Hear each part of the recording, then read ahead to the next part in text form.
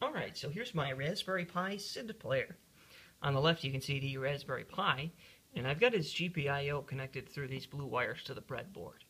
Uh, those blue wires feed in directly to these two shift registers, and I use them to feed the address and data lines to the SID. I use shift registers in order to reduce the number of GPIO pins required by the Pi, and in total for the shift registers it requires six pins.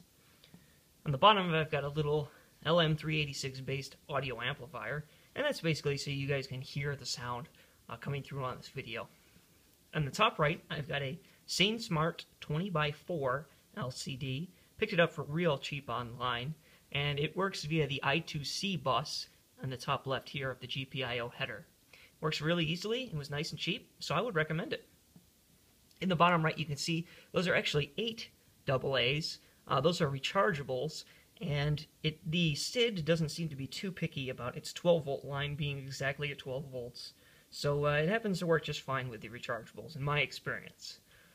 Uh, I wrote a short Python script to feed the data over GPIO to the SID, and I'm going to go ahead and launch it now. So enjoy.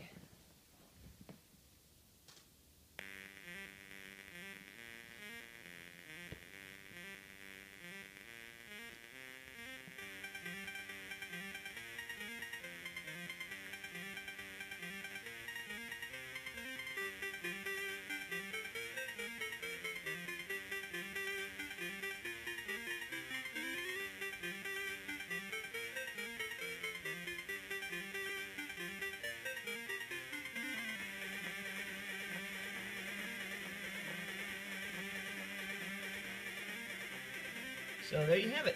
There's my uh, Raspberry Pi SID player. Sounds really good. Works well. Thanks for watching.